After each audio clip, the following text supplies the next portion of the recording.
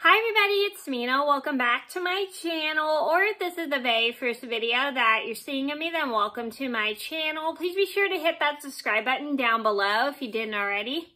I post every day except for Tuesday and Friday afternoon sometimes. And today in this video, I thought I would go over the top five beverages that are not good to bring on a public bus or any public transportation. So I'm sure if you guys have ever been on public transportation like bus, BART, or whatever you take to travel, you know there are signs up that says no food or beverage on the on those things. So these so it is okay to have water on public transportation, but you can't have any other beverage besides water. So these are beverages that you should never drink when you're getting on public transportation or before you're going on public transportation because it's not really a good thing to be drinking this stuff or right before you get on. So I'm going to get started and I hope you guys learn a valuable lesson about what beverages are good are good to bring on the bus and what beverages are not good to bring on the bus. So here we go.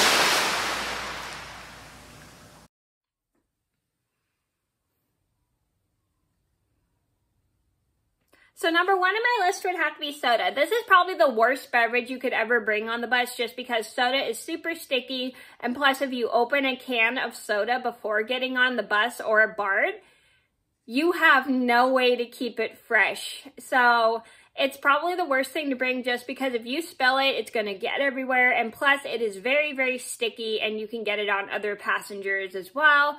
And if you make a mess and spill, then you're going to have to clean it up. And it's not really a good thing because that can attract ants because soda is sugar. And if you get it on yourself, health, the bus driver has to pay to have their bus clean and it might be a little pricey for the bus driver to pay to have their have their bus clean.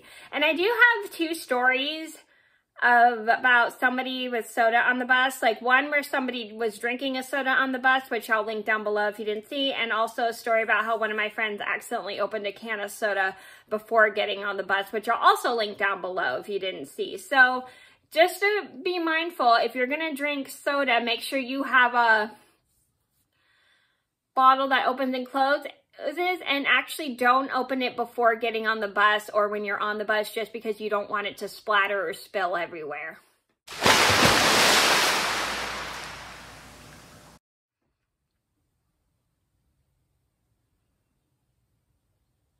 Number two on my list to be coffee. This is also hot coffee or iced coffee. So you don't want to bring any hot or iced coffee on the bus just because if you spill your hot coffee, it could probably get on somebody and maybe burn them depending on how hot it is.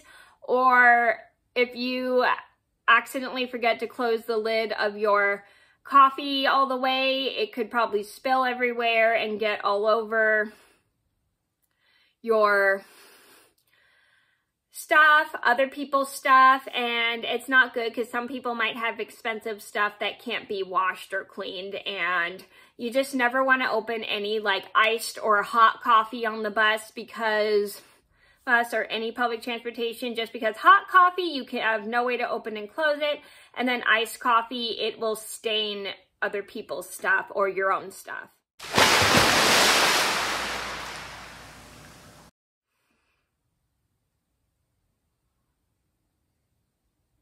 Number three on my list would have to be juice. So you never want to open juice before or um, before getting on the bus or when you're on a public bus just because juice is very easy to spill. Juice is made of sugar and it can be quite sticky and it can stain your clothes, it could stain the bus driver's seats, and plus it makes more of a mess for the bus driver or BART driver if you're taking BART.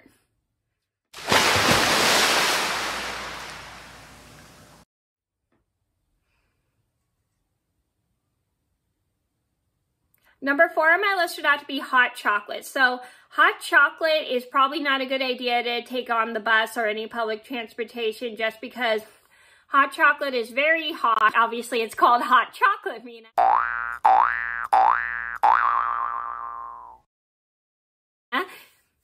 Uh, and it can stain. It can be very sticky just because it's chocolate and chocolate's made of sugar. And if you spill it on someone, it's probably gonna hurt. Or if you spill it on yourself, it's probably gonna hurt. So you don't want to bring it on the bus with you, especially if it's a very, very hot beverage.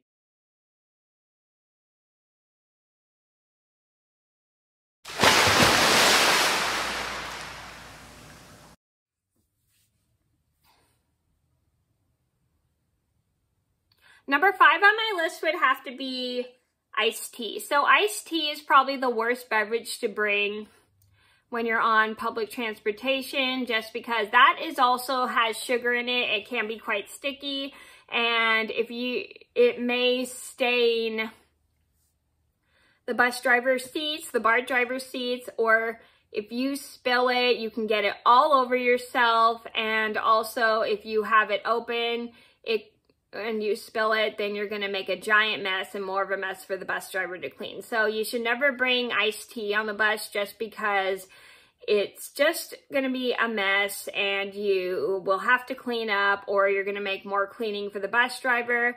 So